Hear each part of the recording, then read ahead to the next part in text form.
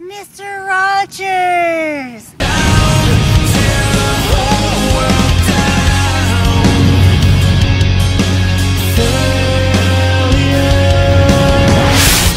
Here's seven ways to avoid another 9-11. Number one. Don't elect Jeb Bush. Now, George H.W. Bush, he did a decent job. George W. Bush, that's a whole different story. He was bad. Bad, bad leader. He's the type of person that leads a theater group but has severe anxiety and can't speak in public in front of anyone without sounding like they don't know what they're doing or without confidence. Or what if that's what he's wanting us to think? So the whole time that we thought he was dumb, he's planning the September 11th attacks. Picture Jeb Bush standing in the Oval Office. Bum,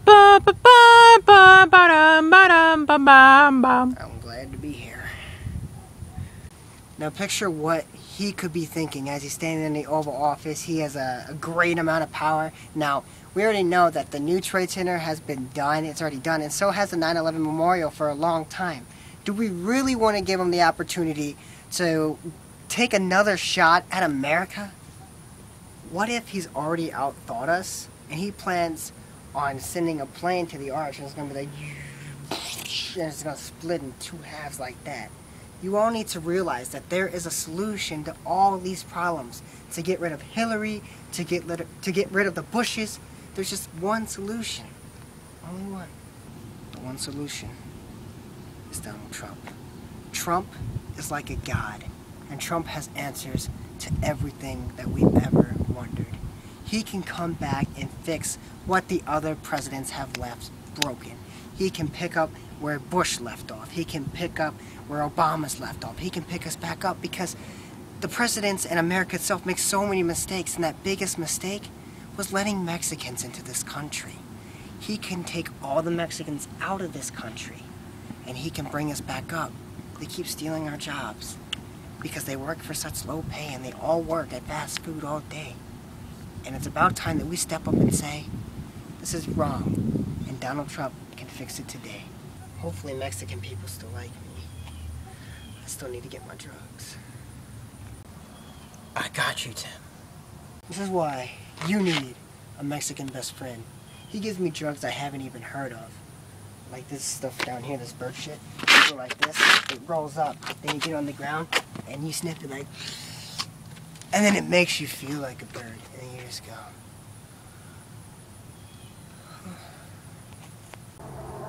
Then you start to feel weird. You start to feel hot, like a hot rush after you take heroin, and your body just starts to shake, and you don't even know what you're saying anymore. You feel paranoid. You feel like everything's watching you, like those planes in the sky right now. That plane right there. You feel like it's gonna crash into something, and you don't want to be a part of it. You don't want to be a part of that.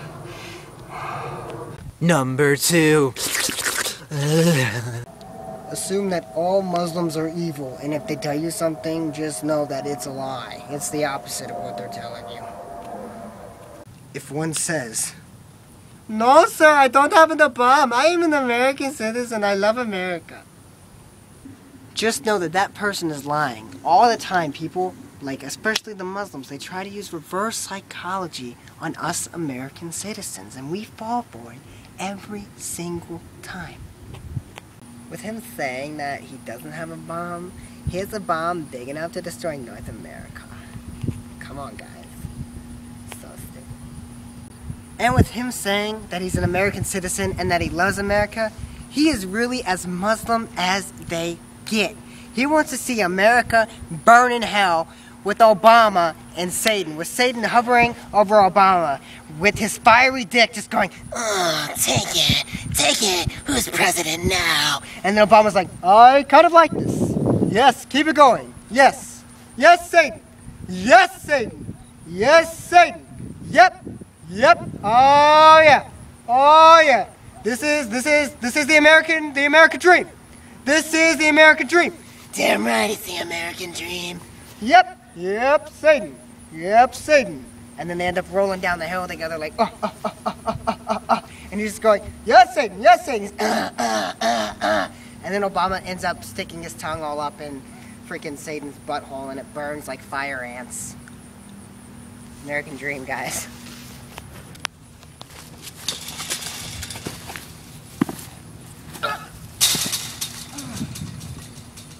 Number three. Ah, ah, ah, all in Satan's butthole. Ah, fire ants. Ah.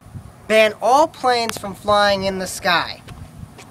Look at this. There's already been five planes that have flown by while filming this video. And those planes could be headed towards anywhere. And we don't know it. All planes need, all planes need to be banned. Every single plane. You see a toy little helicopter flying around, shoot that shit down. You see something like that, you don't know what's on it, you don't know if it's a five-year-old little boy or girl or even a whole family, shoot that shit down. It doesn't matter because we can't risk. Then, when you shoot that shit down, you do what Americans do. You point your gun towards the heavens, you thank God for giving us the right to bear arms, and you just go,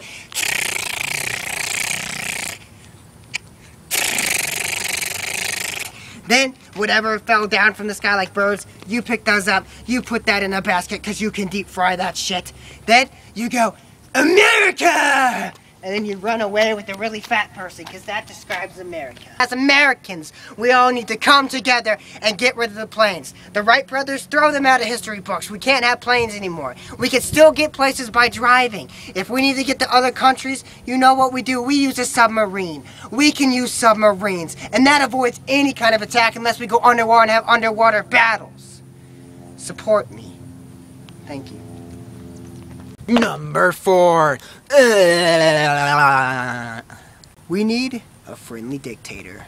We need somebody like Mr. Rogers. Mr. Rogers cared about everyone. See what I mean? These planes are even so loud and they're just ruining the video. Mr. Rogers cares about every single person in the world. To him, everybody is his neighbor. Hey, Billy. Guys, Billy's my only friend. Except for Mr. Rogers! Hey there, neighbor. Hi there, neighbor. Hey there, neighbor. Hi there, neighbor.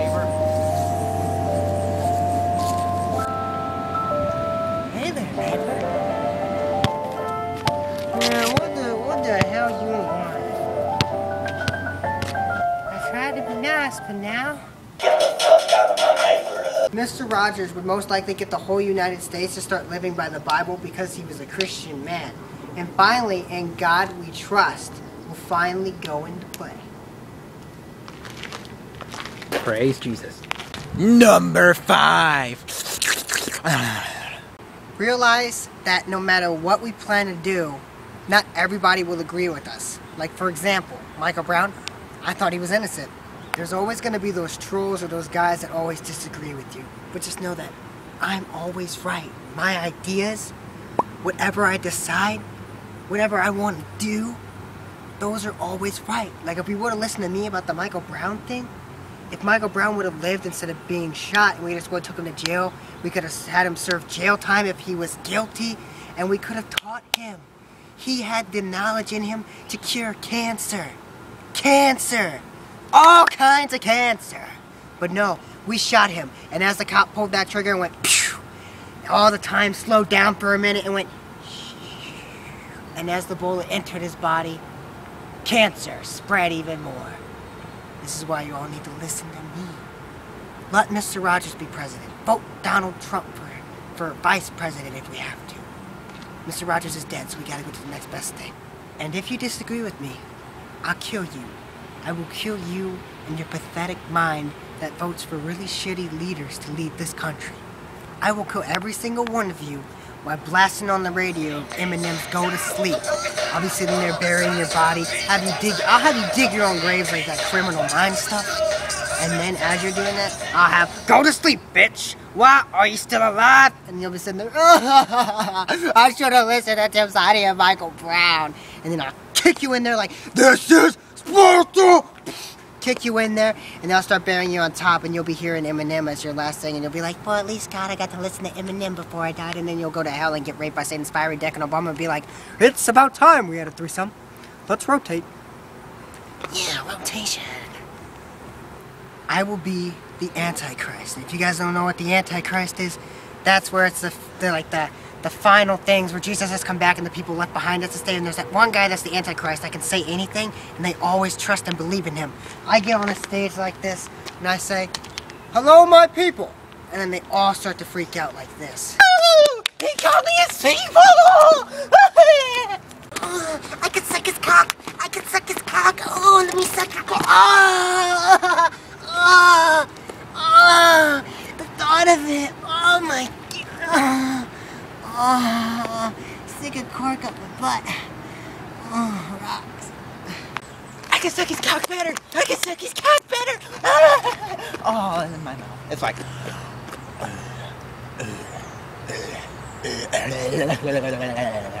Let me suck your chicken tenders. Number six! Uh, ah.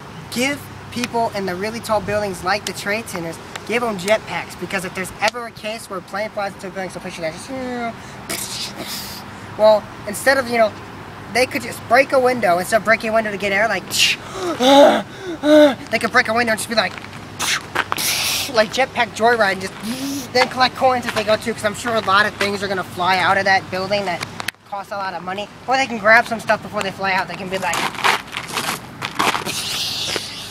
then they can sell it and they can use the money they get out of that for a fundraiser to be able to repair the buildings and help the people that were hurt during that event. And firefighters, they'd be down here in the trade center, be like all the way up there, and they'd be like, crap, how are we gonna get up there? We're gonna have to go all up those steps because the elevators don't work. No, because if they have a jetpack, you know what they do?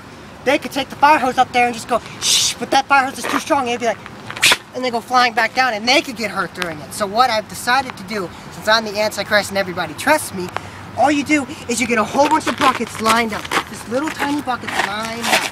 Now one firefighter's got the fire hose, he's like, shh, shh, shh. And the other firefighters go, shh, shh, to the spot of impact and just go, huh.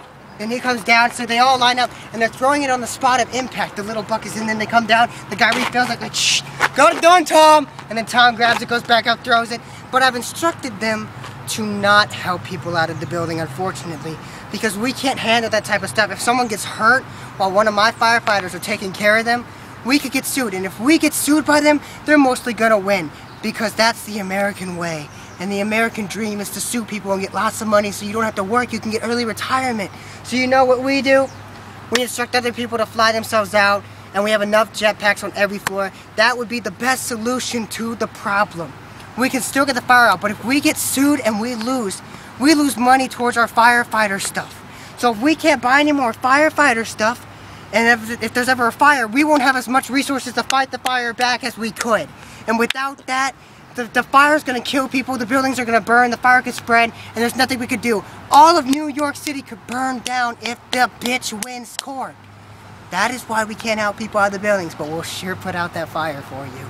All we need is jetpacks. Please get us jetpacks.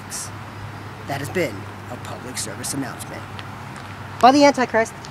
Number seven! Ah! Female orgasm! I just want to say for number seven, this isn't really something that's like, you know, a joke or saying how we can prevent another 9-11. This is just us saying like, no, we didn't forget about the Pentagon, and no, we didn't forget about that plane that crashed in the field. Like, whenever you see the 9-11 stuff, what you always see is 9-11 never forget, and the two trade centers. You see like, oh, never forget. And then you see the two trade centers. When people say, we remember this day, you see the two trade centers. Whatever happened to the days where people actually cared about the people in the Pentagon and the people that crashed the plane so our White House wouldn't have gotten hit?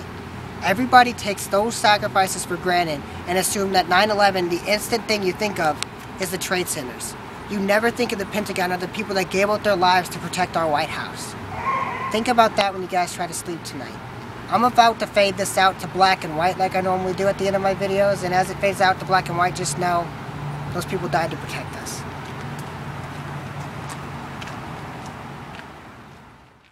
This is the American dream.